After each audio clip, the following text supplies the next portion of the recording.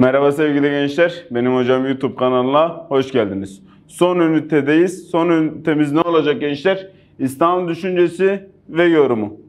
İslam düşüncesi ve yorumu deyince aklımıza gelecek ilk şey şu olacak. ÖSYM kesin buradan sınav sorusunu yapıştırıyor. Geçen sene İmam Şafii'nin Risalesinden yapıştırdılar. Bu sene de aynısının bir benzerini soracaklar mı? Soracaklar. İçime doğan Ahmet bin Hanbel ve Müsned'i olacaktır. O yüzden ne yapıyoruz, ne ediyoruz? Burayı dikkatlice dinliyoruz. ÖSYM buradan iki tane soru soruyor. Biri TYT düzeyinde, bir diğeri AYT düzeyinde olacaktır. O yüzden pür dikkat burayı dinlemeniz gerekiyor. Aynı zamanda İslam'da bulunan mezhepler nelerdir? Bu mezhepler niçin ortaya çıktı? Hepsinin sorusunun cevabı burada karşınızda yer alacaktır. Ya Allah Bismillah. Kardeş ilk soru şu. Bu kadar mezhep niye çıktı ya? Din bir tek dindi. Bu kadar yorum farklılık nasıl ortaya çıktı? Kardeş millet beyin taşıyor. Akıl taşıyan her kişi ortaya kendi görüşünü koydu. O yüzden bir sürü mezhep çıktı. Gençler şunu Can Konuyu anlatsa bambaşka anlatırdı. Ne derdi? İslam'da bulunan felsefi akımlar. Lan felsefi akım deyince insanın bir hoşuna gidiyor. Aynı şey İslam'da bulunan felsefi akımlar dediğimiz kısımdır. Bunların Kur'an-ı Kerim'den anladığı şeylerdir. Yani mezhep eşittir felsefe derseniz sıkıntı ortadan kalkar zaten. İmam Eşari'nin konuya bakış açısı, İmam Gazali'nin konuya bakış açısı, İmam Maturidi'nin konuya bakış açısı benim için son derece önemlidir. O zaman soruyorum sana. Sen itikatta yani inançta yani kelam konusunda hangi e, alime bağlısın? İmam Maturidi'ye bağlısın. Amelde hangi alime bağlısın? Ebu Hanife'ye bağlı olacaksın mı? Ebu Hanife'ye bağlı olacaksın. Yarın öbür gün biri sorarsa itikattaki mezhebin hangisidir? İmam Maturidi. Ameldeki mezhebin hangisi? Ebu Hanife. Hocam ben bilmiyordum. İşte öğrenmiş oldun artık öğrenirsin. Ben de yıllarca bilmiyordum. Kendimi Şafi zannediyordum. Bizim Yunus Hoca, caminin hocası, itikatta bizim Maturidi yapmış. Ben kendimi Eşari zannediyordum. Amelde kendimi Şafi biliyordum. Üniversiteye gittim, Hanefi oldum çıktı. Hayatımdaki en büyük yıkıklar, e, böyle başımdan kaynar sular döküldü. Ben İmam Şafii'nin mezhebindenim dedim. Arda sen Ebu Hanife gibi hareket ediyorsun dediler. O yüzden hangi mezhebe mensup olduğumuzu bilelim. Ama aralarında fark var mı? Yok kardeş. İstediğine de tabi olabilirsin. Ama Yunus Hoca'nın bize attığı gol efsaneydi. Üniversitede fark ettim. Şafi değil de Hanefi oldum.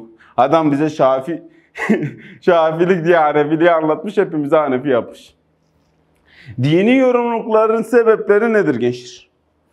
Bir, insanın olduğu yerde yorum var mıdır? İnsanın olduğu yerde yorum olacaktır. Herkes kendi yorumunu yapıyor mu? Yapıyor. Hadi sana soruyorum, mezhep nedir? Mezhep gerekli midir? diye sorayım. Yorum kısmını doldurursunuz zaten tek başına. O yüzden benim için en önemli ve yegane şey nedir gençler? Mezhep deyince bilmem gereken en önemli şey kişinin dini naslardan yola çıkarak havalı cümle kurmayı bırak.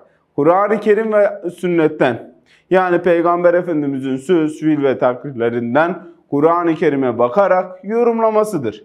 Ve o adamın Kur'an-ı Kerim'den anladığı şey onun felsefesi oluyor. Felsefe diyemiyoruz. Eski dönemde neydi? Mezhep olacak mıydı? Mezhep olacaktır. İnsan yapısından kaynaklanan sebepler var mı? Var. Bazı arkadaşlara böyle şey sunasın geliyor. Al beyin bazen lazım olur. Adamın beyni var diye kullanmak zorunda hissediyor kendini. Saçmalıyor. Ama o da mezhep kuruyor mu gençler? Hariciler gibi mesela. Kendisi gibi düşünmeyeni tak tak tak doğrar mı? Doğrar. Kendisini her zaman haklı görür mü? Görür. O yüzden insan yapısından kaynaklanan, insanın tefekkür, düşünme, içgüdüsünden dolayı mezhepler ortaya çıkacak mıdır gençler? Ortaya çıkacaktır. Sosyal sebepler, sosyal sebepler dediğimiz zaman şehirdeki adam ile aynı zamanda köyde yetişen adam bir mi? Ben kendim bedeviyim. Yani gundiyim yani köylüyüm. Köylü olan adamın zihninde şemalar sınırlıdır. Yani biz mesela bizim köyü büyük zannederdim. İlçeye gittim dedim aa bizim köyden büyükmüş. Hani ilk defa Urfa merkeze gittim. Dedim Urfa metropolmüş haberim yok. Üniversiteyi Maraş'ı kazandım. Dedim ki bu büyük şehirde ne yapabilir? Şimdi İstanbul, Ankara'yı görünce dedim ki onlar büyük değilmiş. Onlar köymüş. Gözümde büyüttüğüm Maraş'ın tek bir caddesi var. O da Trabzon Caddesi. İşte Bedevili köylülük böyle bir şey. Görmemiş yani. Görmediğimiz için o yüzden olaylara bakış açımız farklı olacak mı? Olacak. Resulullah zamanında yaşayan bedeviler yani köylüler var. Adam gelip iman ediyor. Ne diyor Mehmet abi? Diyor ki ya Rabbi diyor. Ben ve Hazreti Muhammed'i cennete koy. Aha bunların hepsinin canı cehenneme. Cenneti ne zannediyor? Küçücük bir yer zannediyor.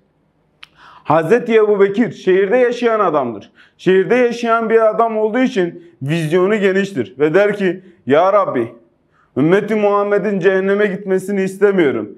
Cehennemde benim bedenimi o kadar büyüt ki kimseye cehennemde yer kalmasın. Bak vizyona bak. Bunun temel sebebi nedir gençler? Yetiştikleri ortam. Yetiştikleri ortam birbirinden farklı olunca sosyal sebeplerden dolayı mezhepler ortaya çıkacaktır. Mesela haricilik. Mesela mesela Türk düşünce özgürlüğünün olduğu bir yerde var. Aynı zamanda üniversiteye gidince göreceksiniz. Düşünce özgürlüğünün olduğu yerlerde derse girerseniz farklı. Düşünce özgürlüğünün olmadığı hocadan ders alırsanız farklı. Yani bulunduğu ortam. Kufe diye bir şehir var. Herkes akılcı. Ama Mekke Medine dönüm e, var. Mekke Medine'de ne vardır gençler? Kur'an-ı Kerim var, hadis var, Peygamber Efendimizin yaşayış tarzı var. Kimse ben böyle düşünüyorum demiyor. Diyor ki Allah Resulü böyle yaptıysa ben de aynısını yapacağım der. Konu kapanmıştır. Ama Kufe'de bulunan adam ne diyor? Ben böyle düşünüyorum. Düşünmeseydin daha iyiydi bu kadar mezhep ortaya çıkmazdı gençler. Sosyal sebepler etkili mi? Etkili. Etkili olmasıyla birlikte coğrafya etkili olacak mı? Kültür etkili olacak mı? Kültür etkili olacaktır. Kültür dediğimiz şey İran kültürü var mı? İran'a deyince aklıma ne geliyor? Şia. Şia'nın ortaya koyduğu mezhep nerede olacak? İran'da olacaktır. Aynı zamanda maturidilik ve eşarilik nerede olacak gençler? Türkiye'de olacak mı gençler? Türkiye'de olacak. Türkiye'de itikatta nedir? Maturididir. Yani Kufe diye bir şehir var gençler akılcı. Ama Mısır var. Aynı zamanda Suriye var. Aynı zamanda Mekke Medine bölgesi var. Mesela İmam Şafii'nin kültürel veya coğrafyanın mezhepler üzerindeki etkisini net görüyoruz. İmam Şafii Bağdat'tayken bir mezhep ortaya koyar. Sonra iki dönemde Mısır'a geçer. Mısır'a geçmesiyle birlikte ne olacaktır gençler? Mezhebi kadim ve mezhebi cedid diye ortaya çıkacaktır. ÖSYM sınav soru, sorusu yapabilir. Mezhebi kadim ve mezhebi cedid. Yani mezhebi kadim nedir? Mezhebi cedim ne? Kadim demek eski, cedid yeni. Yani eski görüşlerimi bıraktım artık ne olacaktır? Yeni görüşleri ortaya koyacağım. Mesela bir önceki gün Mehmet abi anlatıyor. Diyor ki benim e, evde bir şafi vardı. Abdest alıp üniversiteye gidiyorduk diyor. Adam abdest almıyordu. Çünkü şafiydi o. Niye? Çünkü kültürel olaylar. Mesela metroya İmam Şafii binseydi görürdüm. El ele deyince abdest bozulur mu bozulmaz? Adam abdest alamıyor. Çünkü ten tene deyince erkek kadın adamın abdesti bozuluyor. Köydeki adamın birine değme ihtimali var mı? Yok ama şehirde yaşayan bir adam mecburen hem coğrafyadan hem kültürden etkilenecek metroya bindiyseniz şafi olma ihtimaliniz çok düşüktür. Abdestiniz varsa da bozulur mu? Bozulur. Ya da diş kanamaz. Kan abdesti bozar mı bozmaz mı? Şafiler de bozmaz. Bu sefer Hanefiler de bozuyor. Bu yorum farklılığının temel sebebi insanın düşünce yapısı, bulunduğu ortam, coğrafya şartları etkili olacak mı? Etkili olacaktır. Siyasi sebepler olacak mı gençler? Tabii ki. Her şeyin altyapısında siyaset yer alacaktır. Hz. Muhammed vefat etti. Vefat etmesiyle birlikte devlet yöneticisi kim olacak? Sorusu mezheplerin ortaya çıkmasının en önemli sebebidir. Şia imamet nasıl ile tayin edilmiştir? O yüzden imamet Hazreti Ali'nin hakkıdır deyip ortaya çıkacak mıdır? Hazreti Ali imam olması gerekiyor. Resulullah'tan sonra halife kimdi? Hazreti Ebu Bekir'di. Ondan sonra Hazreti Ömer, Hazreti Osman. Şia diyecek ki öyle bir şey olamaz. Siyasi bir sebep değil mi? Siyasi bir sebep. Devlet yöneticisinin kim olacağı mezheplerin ortaya çıkmasında etkilidir. Hazreti Hüseyin ilk defa nerede e, şehit edildi? Hazreti Hüseyin şehit edildiği yer Kerbela'ydı. Kerbela'da ilk defa ortaya çıkan mezhep hangisidir? Şia diyecek mi gençler? Şia olacaktır. Haz, e, İslam tarihini Ramazan Hoca anlatıyor mu? Anlatıyor. Tahkim ve Sıfin savaşları var. Tahkim olayına karşı çıkıp La hukme illallah deyip ortaya çıkan grup hangisidir? La hukme illallah deyip ortaya çıkan grup hariciler olacak mı gençler? Hariciler olacaktır. Siyasi olaylar mezheplerin ortaya çıkmasında etkili midir? Son derece etkili olacaktır. E dini metinler etkili mi gençler? Dini metinler dediğimiz yani Kur'an-ı Kerim.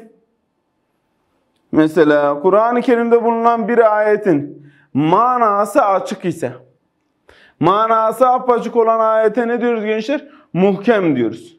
Aksine bir delil yok. Mesela namaz kıl. Bu cümleyi duyduğun zaman namazın emredildiğini herkes bilir. Mana apaçık. Erkek, muhkem erkekler gibidir. Saf, tertemiz varlıklardır. Ne dediği gayet net anlaşılır. Ama müteşabihat kadınlar gibidir. Kadınları anlama kitabı yapmışlar bu kadar. İlk cilde o da. Anlaşılma ihtimali var mı? Yok. Yorum yaparsın, yanılır mısın? Genellikle yanılacaktır. Mehmet abi nasıl bir baş sallıyor? Yenge nasıl çektirdiyse artık. Nasıl bir müteşabihatsa artık. Darısı aynı benim başıma. Ben diyorum ki anladım, meğer anlamamışım. Yanlış anlamışım hep. İşte o yorum farklı olabilir mi? Manası kapalı olanı ne denir gençler? Nişanlım. Mehmet abinin eşi. Ne olacaktır? Yorumlar birbirinden farklı olacak mı? Olacaktır. İşte kapalı olan naslar var. Mesela ne olabilecek? Mesela mesela abdestin farzları. Abdestin farzları kaçtı? Birlikte sayak. Dörttü. Yüzün yıkanması var mı? Var. Kollar var mı? Var. Başın mesedilmesi var mı? Var. Ayakların yıkanması var mı? Var. Ama Şia böyle demiyor. Diyor ki ben ayeti aldım diyor. Ayakları yıkamayacağız biz diyor. La Resulullah yıkıyordu. Ayette de yıkayın diyor. Yok diyor o öyle değildir diyor. Mesedin diyor. Ayağı yıkamayıp elini suyla ne yapacaktır? Böyle mesedecektir. İşte bulunan bir nasın yorumu mudur? Yorumudur. Mesela yemin ettiğiniz zaman bu yemine karşılık 3 gün oruç tutman lazım. Mesela Şafiler der ki peş peşe olmak şartı yoktur. Hanefiler der ki peş peşe olacak.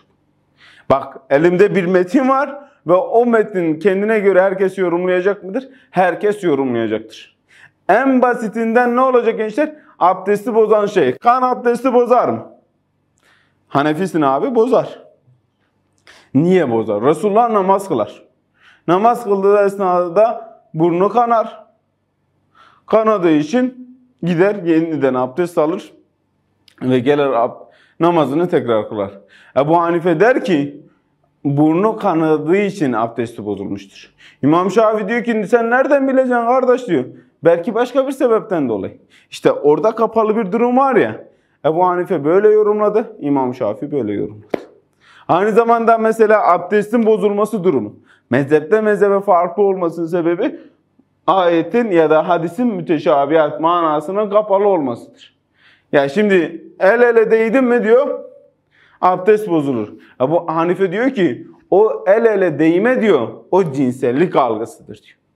Ya bu hani e, Şafi diyor ki bana ne ya diyor, el ele değdi diyor mu? Diyor. O zaman abdest bozulur. Bak herkes kendi ne göre yorum yapıyor mu? Yorum yapıyor. Hepsinin doğru olma ihtimali var mı? Var. Yanlış olma ihtimali de var mı? Var. Ebu Hanife ne der? Ben ortaya bir görüş koyarım. Kabul etmek zorunda değilsiniz. Daha güzelini bulduğunuz zaman gidip onu ne yapabilirsiniz? Benimseyebilirsiniz. O zaman manası açık olan ayetlere ne diyoruz? Muhkem. Kapalı olan ayetlere ne diyoruz? Müteşabihat. yoruma açık mıdır? Yoruma açık olacaktır. Şimdi dini yorumlarla ilgili baktığımız zaman mezhep dediğimiz şeyin tanımını şimdi yapalım. Mezhep dediğimiz şey dini inanç esaslarını, ameli hükümlerini anlama ve yorumlama konusunda kendine özgü yaklaşımlara sahip düşünce sistemidir. Bu yaklaşımlar etrafında meydana gelen ekolleşmeler ve fikri birikimler olacak mıdır? Olacaktır. Din bir evin çatısıysa mezhep de o evin odası gibi olacak mı? Olacaktır. Şimdi baktığımız zaman gençler. Şuradan Aha, gel gel gel. Mezhepler var. Bak ÖSYM'nin soracağı ilk yer şurasıdır. Hocam nasıl buradan sınav sorusu gelir dersen adam diyecek ki mezhep karşıma çıktı. Siyasi olaylardan dolayı, coğrafi şartlardan dolayı, insanın yapısından kaynaklanan sebeplerden dolayı çeşitli mezhepler ortaya çıkacaktır.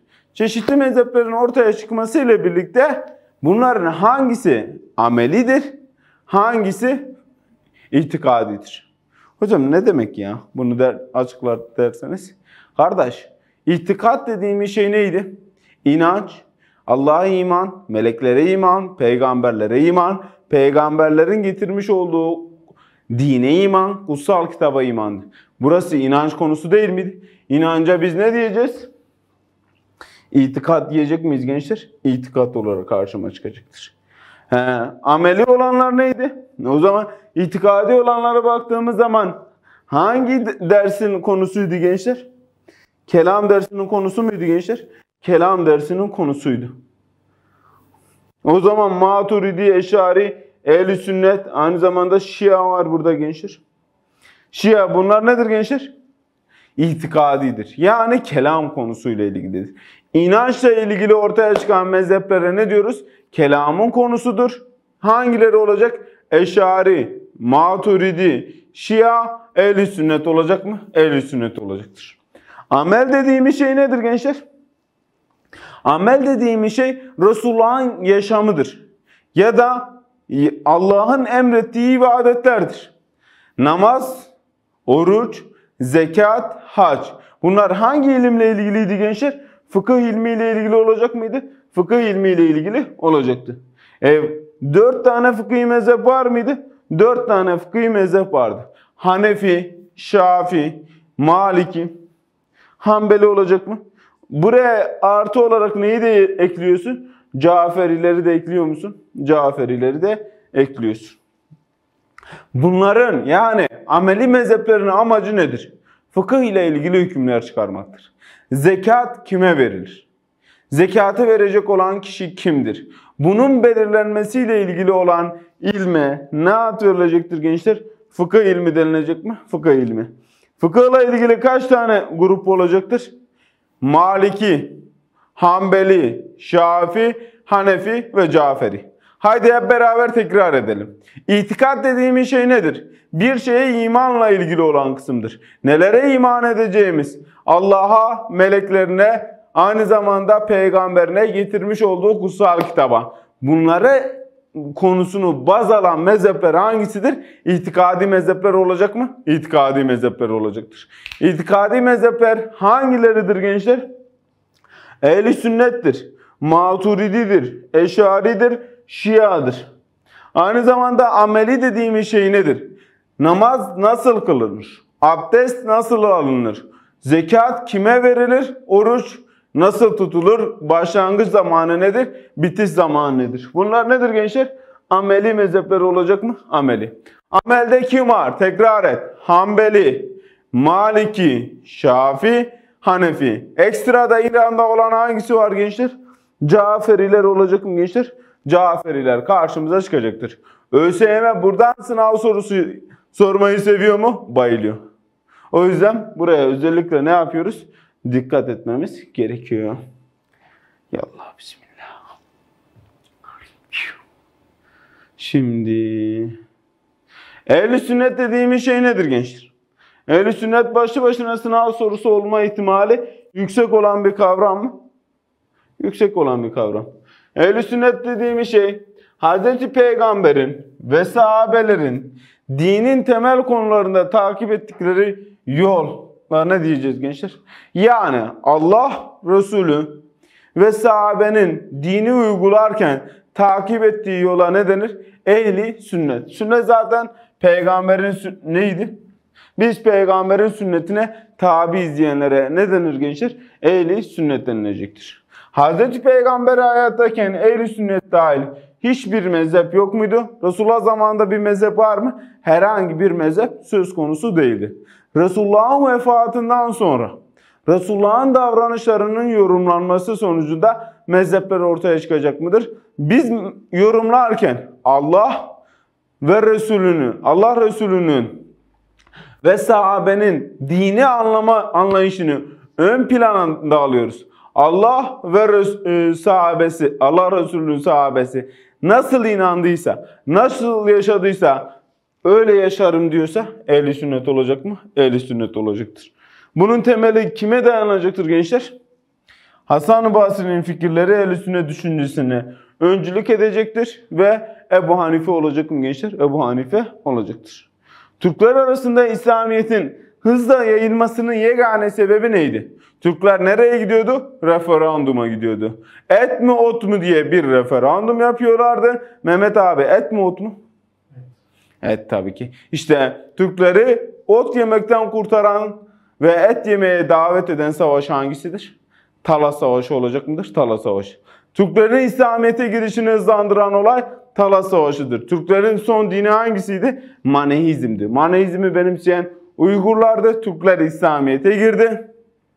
Hangi devlet döneminde? Abbasiler döneminde. Abbasiler döneminde Türkler baktı. Dedi ki İslamiyet zaten bizde var mıymış da haberimiz yok. Nasıl dediler? Bir tek olan Allah'a iman edeceksin dediler. Bizde zaten gök tengri vardı. Allah'tan hiçbir farkı yok. Aynı zamanda ne vardı? Cihad vardı. Evreni e, yani bütün dünyayı ele geçirme, İslamiyet'i yayma, dünyaya hakim olma, kızıl elma içgüdüsü var Müslümanlarda. E dedi bizde de var. E bizde de ne olacak gençler? Yani cihat olacak mı? Türklerin her yere ele geçirme planları yok mu? Dünyaya hakim olma planları olacaktır. O yüzden Türkler arasında özellikle Abbasiler döneminde Türk, e, yayılacak mı? Türklerin İslamiyet'e girişi hızlanacaktır. Niye? Çünkü Türklerin benimsediği inançla Türklerin e, İslamiyet'in getirdiği inanç arasında paralellik son derece fazla olacaktır. Şimdi ehl sünnetin iki tane mezhebi var. ehl sünnet ne dedik? Allah Resulü ve sahabe nasıl yaşadılarsa biz de onun yolunu takip edeceğiz diyecektir. Ehli sünnet olacağız biz dedi.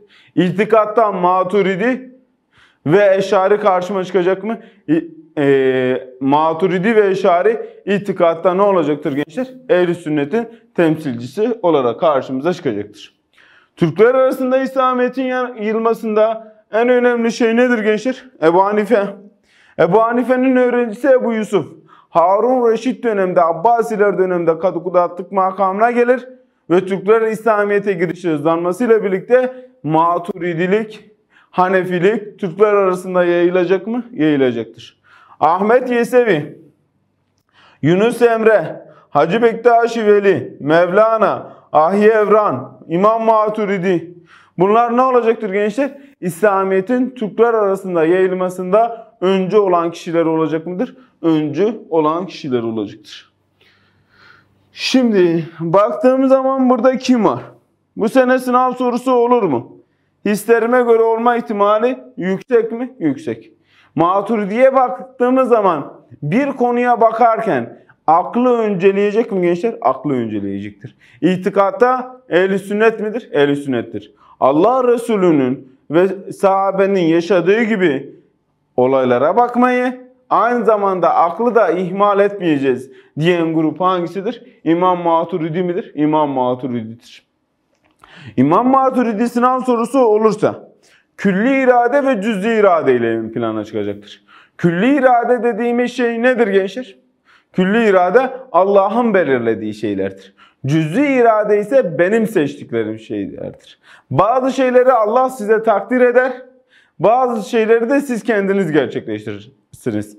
Doğduğunuz il, aileniz bunlar hep Allah tarafından belirlenen şeyler mi? Biz buna ne diyeceğiz? Külli irade diyeceğiz. Kazanacağın üniversite, yapacağın tercihler cüz'i irade olacak mı? Olacaktır. Aramızda bazıları şöyle diyor. Diyor ki ben ana babamı seçemedim de ki. Lan anan baban seni seçse seni mi seçerdi lan? Selçuk Bayraktar olsun, Aziz Sancarlar olsun. Düşün böyle bir sergi var abi. Selçuk Bayraktar'ı kapmak için sıraya girerler miydi? Allah'tan Allah bizi adamlara verdi de Allah'ın ira yoksa ortada kalırdık. Kimse bize evlat edilmez. Düşün yani git babana sor. De ki baba beni seçer miydin? Adam 3 saniye düşünüyorsa zaten muhtemelen seni seçemez.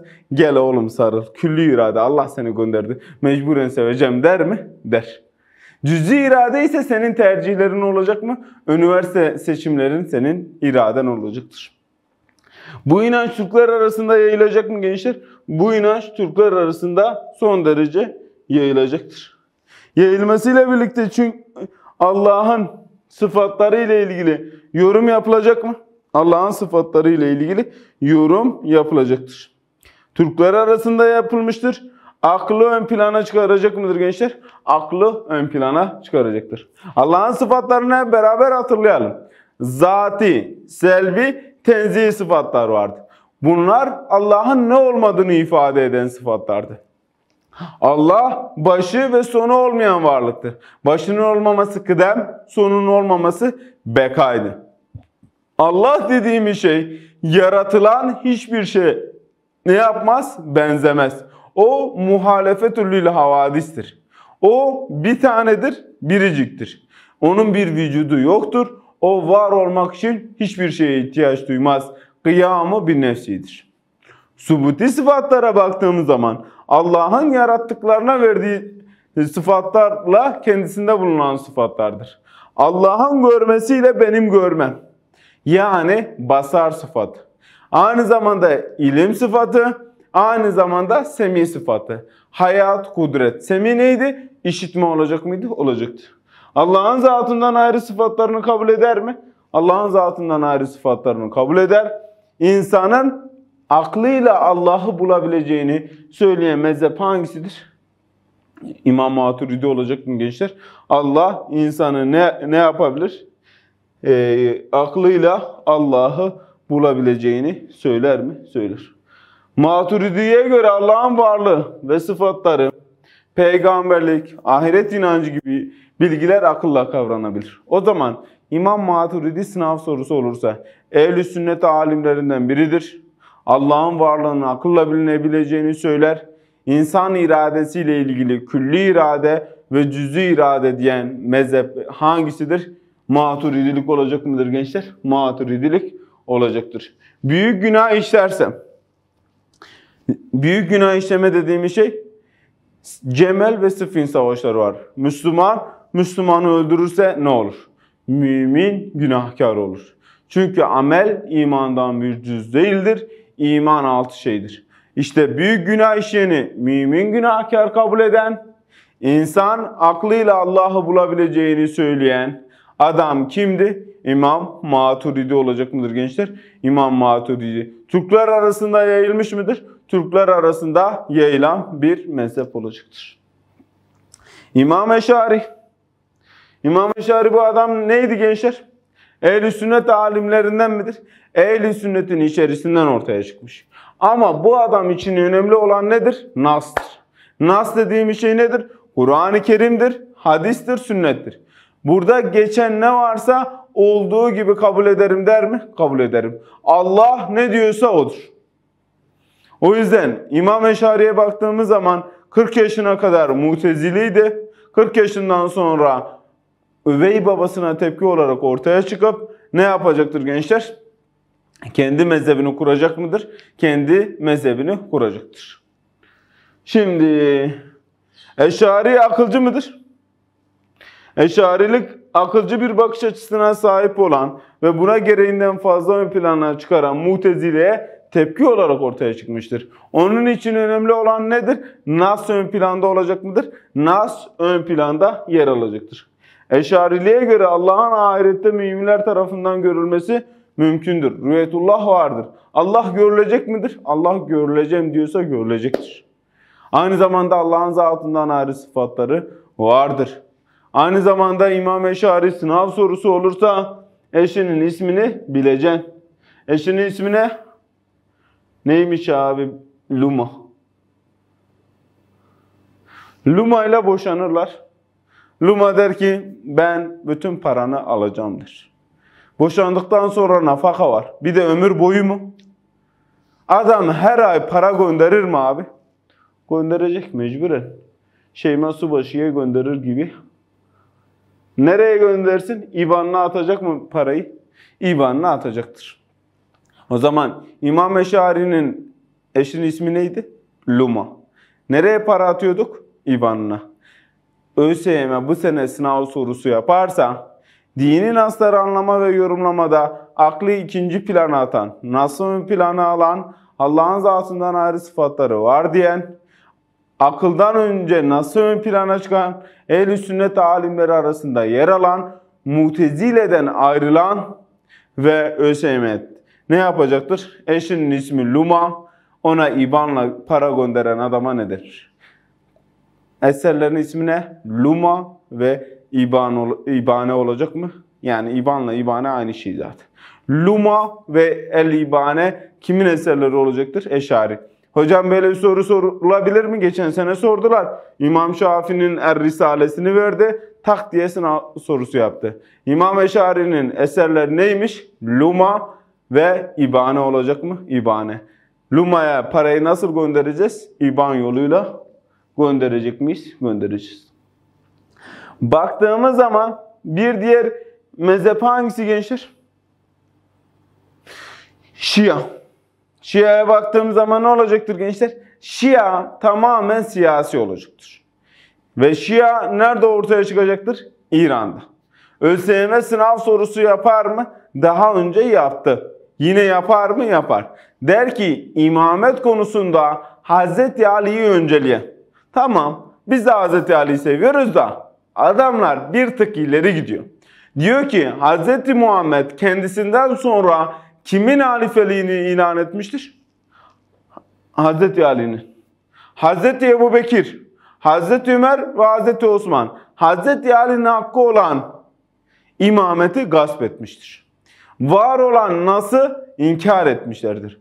Var olan nasıl inkar eden, gizleyen kişiye ne denir? Münafık denir. Ebu Bekir, Ömer ve Osman münafıktır. İmamet Hazreti Ali'nin hakkıdır. İmamet nasıl ile tayin edilmiştir? Hocam Şia'nın anahtar cümlesi nedir? İran'da ortaya çıkan imamet nasıl ile tayin edildi diyen, imametin Hazreti Ali'nin hakkı olduğunu söyleyen, Hazreti Muhammed'den sonra devleti yönetecek olan kişinin Hazreti Ali ve ondan sonra Hazreti Ali'nin çocukları tarafından yönetilmesi gerektiğini söyleyen itikadi mezhep hangisidir? Şia olacak mı gençler? Şia olacaktır. O zaman Şia tamamen siyasi midir? Siyasidir. Hazreti Peygamber'den sonra Hazreti Ali'yi ne yapacaktır gençler? İmam kabul edecektir. Ve bunu iman esası kabul edecektir. Bunu inkar edeni de kafir ilan eder mi? Eder. O zaman Şia imamet konusunda inanç esaslarından kabul eder. Bunu inkar eden ise kafirdir. İmamet Hazreti Ali ve çocuklarının hakkıdır diyen grup hangisidir gençler? Şia olacak mı? Olacak. O zaman itikadi mezheplere baktık. İtikadi, itikatla ilgilenen ilme kelam ilmi dedik. Ehl-i sünnetteydi Resulullah ve sahabe nasıl yaşadıysa biz de ona göre yaşarız diyenlerdi. Kendi içerisinde ikiye ayrıldı. İmam Maturidi ve İmam Eşari. İmam Maturidi neye öncelik aldı? Aklı öncelik aldı. Ve insan iradesiyle ilgili külli irade ve cüz'i irade. Yaz oraya. Bir sorunun içerisinde külli irade, cüz'i iradeyi görürsem, aklı ön plana çıkaran ehl sünnet grubu derse maturidiliktir. Allah neyle bilinir der? Akılla bilinir der. İmam Eşari 40 yaşına kadar mutezileydi. Eşinin ismi neydi? Luma. Luma'ya parayı nasıl gönderiyordu? İbanıyla. El Luma, El İbane e, temel eserleri olan 40 yaşına kadar Mutezili 40 yaşından sonra kendi mezhebini kuran ve nasıl ön plana çıkaran, aklı aşırı kullanan Mutezile'ye tepki olarak ortaya çıkan bu şey iyi mi, kötü mü? Ne, ne diyeceğim? Allah ne diyorsa odur. Yani her şeyin Allah tarafından bile bilineceğini söyleyen grup hangisi? Eşarilerdi. Şia, İran'da ortaya çıkacak mı? İran'da. Temel cümlesi ne? Direkt şu cümleyi kur. İmamet konusunda. İmamet neydi? Kimin halife olacağı. Hazreti Ali ve onun soyundan gelenlerin halife olması gerektiğini söyleyen ve bunu inanç konusu haline getiren gruba ne diyoruz? Şia diyoruz. Bu videonun da sonuna gelmiş bulunmaktayız. Bir sonraki videoda görüşmek dileğiyle. O yüzden Maturidi, Eşari ve Şia'yı unutmayın. Bu- Buralardan soru gelme ihtimali yüksektir. İmamet Hazreti Ali'nin ve çocukların hakkıdır diyorsa Şia, aklımla bazı şeyleri bilebilirim. Allah akılla bilinebilir diyen ehl sünnet grubu Maturidilik, ben aklımla bulunamam. Her şey Allah'ın demesiyle. Bu iyi midir, kötü müdür? Allah iyi derse iyidir, kötü derse kötüdür. Diyen grup hangisidir? Eşarilerdir. 40 yaşına kadar Mutezile'dir. ÖSYM sorarsa Mutezile'ye tepki olarak ortaya çıkan, nasıl plana çıkaran, iyi veya kötü olan bir şeyin vahiy ile nasıl ile bilinebileceğini söyleyen El-Luma, El-İbane temel eserleri olan mezhep hangisidir? Eşariliktir. İmamet nasıl ile tayin edilmiştir? İmamet Hazreti Ali ve çocukların hakkı diyorsa Şia'dır. Ve bunları gördüğün zaman bam bam bam yapıştıracağım? Yapıştıracağım. Bir sonraki videoda görüşmek dileğiyle. Allah'a emanet olun. Hoşçakalın.